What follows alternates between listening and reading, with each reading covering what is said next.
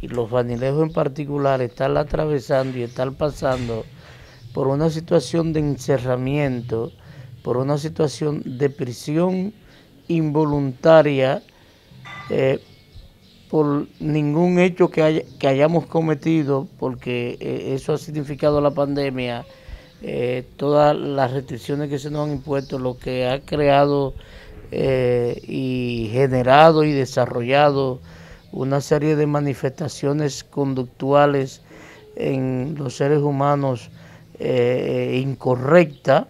Castillo refirió que para tomar en cuenta una desescalada al toque de queda, esta debe ser planificada y educada, ya que al momento que nos vemos libres de restricciones, esto nos conduce a hacer lo que no podíamos por estar encerrados, respetando los horarios. República Dominicana, sin previo programa de educación para esa desacalada en la forma en que se ha planteado.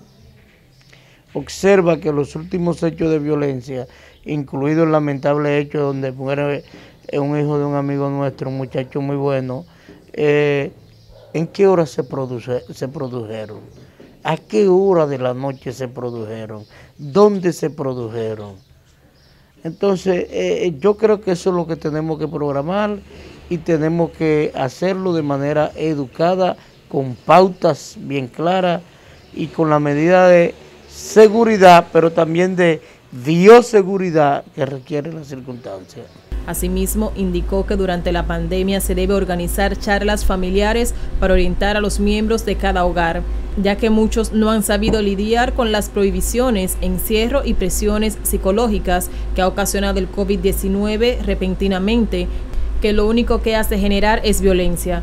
Castillo pide al presidente de la República y demás funcionarios el escuchar las recomendaciones dadas por los profesionales de la conducta para así poder ayudar a la población a que no quede con secuelas psicológicas por la pandemia y a la vez eliminar la violencia.